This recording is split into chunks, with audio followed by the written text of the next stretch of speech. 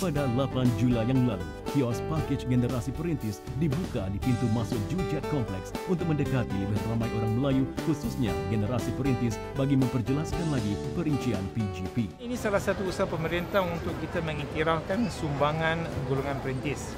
Usaha-usaha harus ditambahkan lagi bagi kita untuk mendampingi mereka dan menolong mereka untuk lebih memahami apakah pakej itu.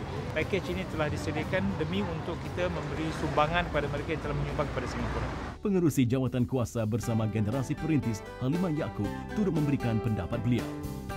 Ini bukan saja penting bagi mereka yang layakkan diri dia bawa pakej ni tapi yang lebih penting adalah bagi kaum muda.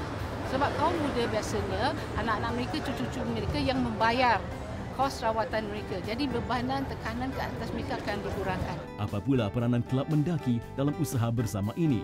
Pada hari ini Mendaki Club bergabung dengan beberapa pihak antaranya Jawatan Kuasa Bersama Generasi Perintis, uh, Masjid Al-Amin dan juga Google Singapore. Kita akan memberi penerima-penerima zakat sedikit barang dan untuk generasi perintis ada sikit lebih habuan mereka akan mendapat additional sejadah, tasbih, uh, beras dan lain-lain lagi.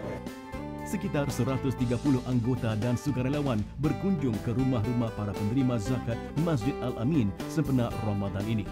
Sebagai seorang sukarelawan, saya mengambil peluang di bulan Ramadan ini uh, untuk mendekati uh, generasi perintis. Uh, sambil itu, saya membawa anak-anak untuk mendekatkan uh, silaturahim antara kami sekeluarga lah. Semoga sumbangan dan usaha-usaha projek Ramadan dapat memberi sinar baru kepada keluarga-keluarga yang memerlukan menjelang lebaran ini dibawakan oleh Jawatan Kuasa Bersama Generasi Perintis dan disokong oleh Suria.